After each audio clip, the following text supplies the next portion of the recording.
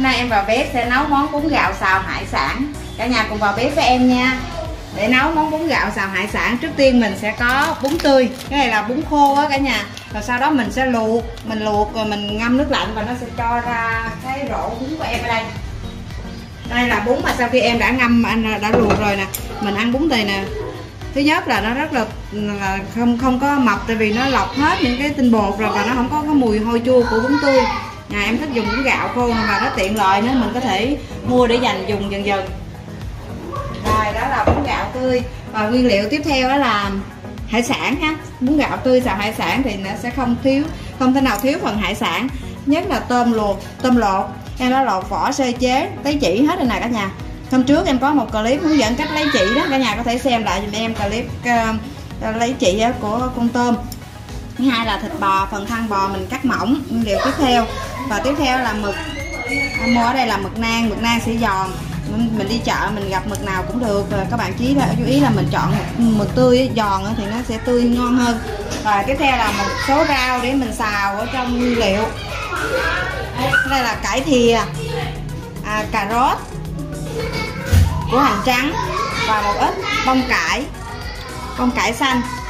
À, hành băm để chút mình phi và ngon hơn nữa cái món mà bún gạo xào hải sản ở đâu cũng có nhưng mà đặc biệt hơn nữa. Khi mà mình xào hải sản có một cái bí quyết đó là mình pha nước chấm và nước sốt. Pha nước sốt để trang lên bún gạo. Hôm nay em có nước tương à, tương ớt và dầu mè. Dầu mè Hàn Quốc để mình pha. Cái bún gạo hấp dẫn là một chút em pha nước sốt này nè. Giờ cả nhà cùng vào bếp với em làm món bún gạo xào hải sản nha rồi, bây giờ mình chờ chờ cho chảo nóng lên, cho một ít dầu vào để mình phi hành tỏi ha. Rồi, cho một ít dầu thôi, cả nhà ơi.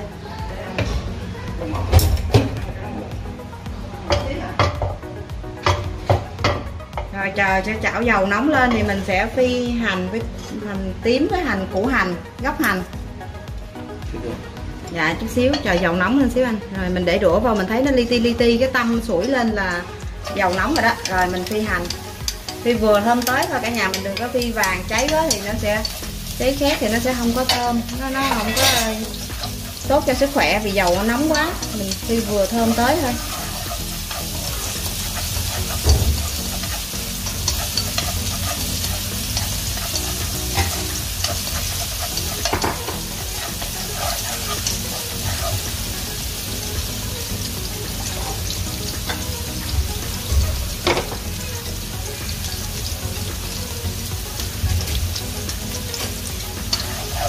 Mấy kia giờ?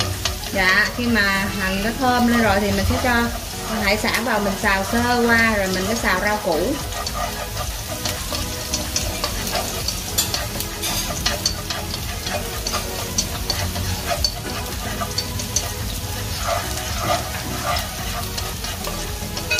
Mình xào cho gốc hành vừa thơm tới ha.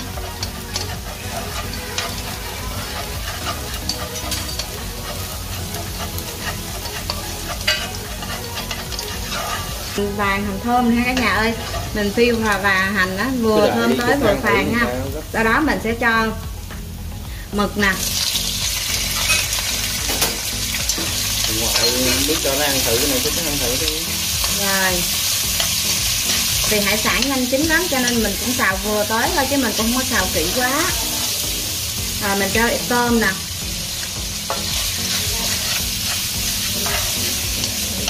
Dạ em biết mà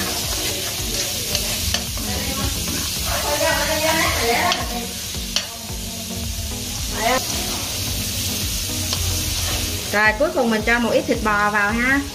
Tùy theo cả nhà mình thích ăn ít hay thích ăn nhiều, tùy mình. Mình cho một ít thịt bò vào. Để nó tăng thêm độ ngọt. Rồi. Mình đảo lửa lớn lên ha. Mình xào lửa lớn lên vừa tới thôi cả nhà ơi. Rồi, em cho một chút xíu hạt nêm vào trong cái phần à, thịt xào muỗng hạt nêm thôi cả nhà. Các bạn có thể cho thêm tí tiêu cũng được, cho tăng thêm hương vị. Mà nếu mà có em bé nhỏ thì thôi mình đừng có cho tiêu. Ở lửa lớn, xào bừng lên. Xào cho thịt vừa chín tới vừa săn lại.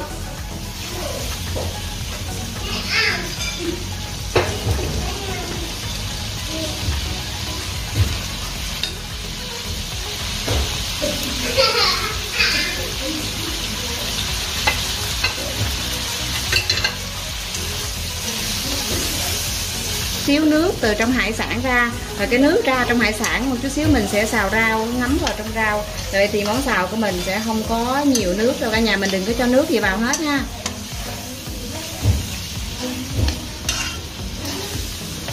Rồi, giờ em sẽ lấy cái lấy thịt ra, sau đó em sẽ dùng cái nước ra mình xào rau. Mình xào vừa tới thôi chưa chín lắm đâu cả nhà, một chút xíu mình sẽ xào lại lần nữa.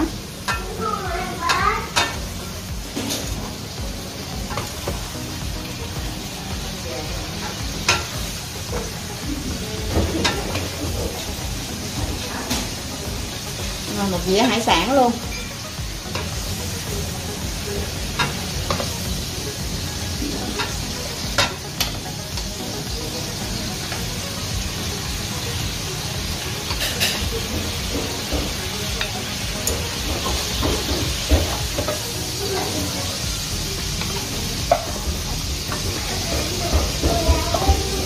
Rồi, giờ cái phần nước hồi nãy em xào hải sản còn nè cả nhà ơi nước ha giờ mình sẽ cho rau vào mình xào.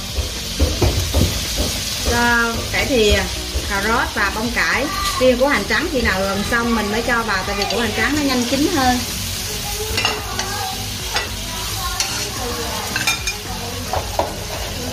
Cho nhiều rau vào mình xào thì cũng không ngán.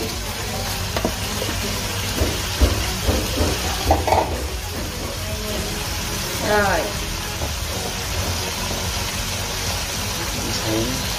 Rồi bây giờ mình sẽ xào rồi tiến tới ha. Dạ anh có thể thu nhanh cũng được.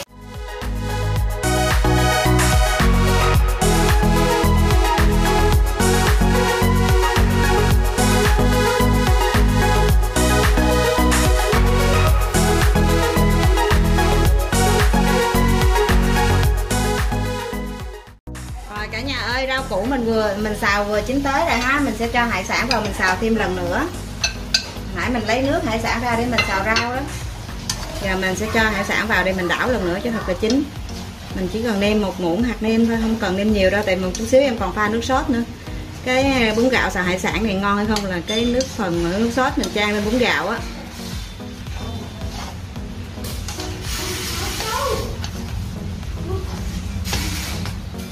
Rồi, mình cho hành, củ hành trắng vào. Đây nè. Rau củ hành trắng nè.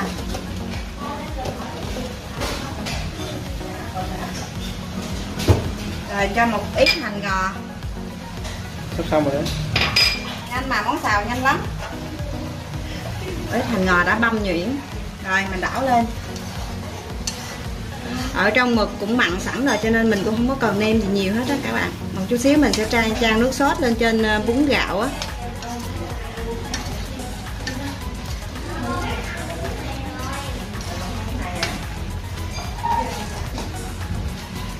nấu đi. Ừ. trong cái phần rau xào của mình có bông cải nè có cải thìa nè có cà rốt có củ hành trắng nè. Bạn nào có thích rau gì thì mình cho rau đó ví dụ như cần tây hoặc là à, đậu đậu nấm này kia đó tùy mình thích. Mình ờ, gì thì mình làm cái đó. Rồi một chảo khổng lồ luôn. Dạ giờ em sẽ cho ra phần bún. xíu cho nó chín lên cái nè cái phần xào của em rất là ít nước nó ra ít nước thôi tại vì mình không có cho nhiều nước á. Đây có chút xíu thôi. Rồi xíu mình sẽ trang lên trên bún ha. Mình đảo qua xíu cho hành tây nó nó, nó vừa tới vừa mềm tới. Rồi tắt bếp thôi. Tắt bếp thôi rồi phần xào của em đã xong rồi ha. Giờ mình sẽ cho ra dĩa. Đây là bún gạo mà nãy em em đã luộc xong rồi đó. Giờ mình sẽ cho ra dĩa. Lấy múc đi? Để cho nó em lấy gì múc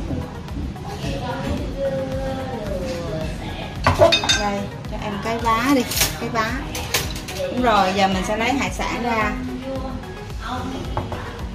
Để xuống đây đi, để đổ. Mình à, để để cái phần à, xào ở giữa, xong mình để bún xung quanh đó các bạn ơi, mình đừng có à, để bún trộn chung với cái rau xào thì đó nó sẽ mềm, nó không ngon. Mình để về ăn tới đâu mình sẽ lấy đến đó là tuyệt vời bún gạo xào hải sản. Rồi mình lấy một ít rau xào ra.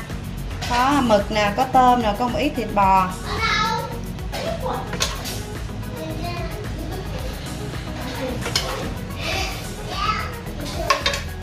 Tôm gắp tôm thôi Gắp tôm.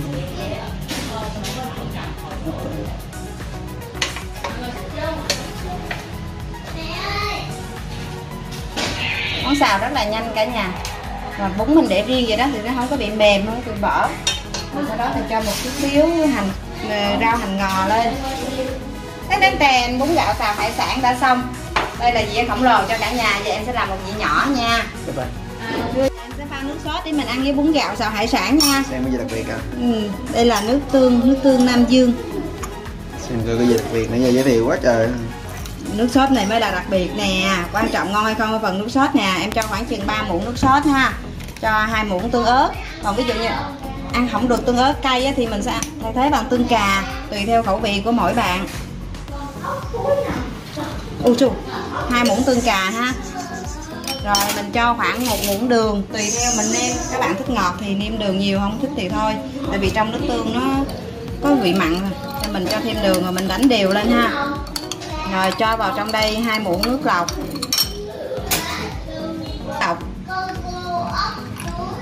Này chắc ba muỗng rồi đó. Rồi cho một lát chanh ha vắt nước chanh. Rồi mình đánh cho đều lên. Các bạn có thể nêm lại cái vị hơi mặn mặn hơi ngọt ngọt một xíu. Hơi the the thôi đừng cay quá cay quá các bạn nhỏ sẽ Còn không này. có ăn được chút xíu. Cuối cùng mình sẽ cho cho vào đây.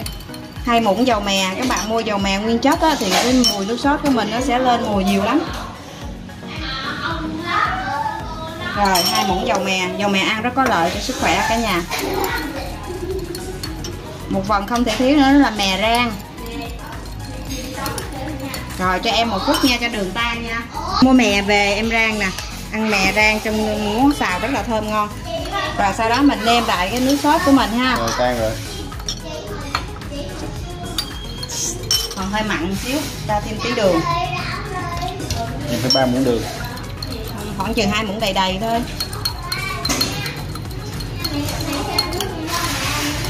Ủa nước chấm thì chỉ ăn với ờ, bún gạo thôi hả?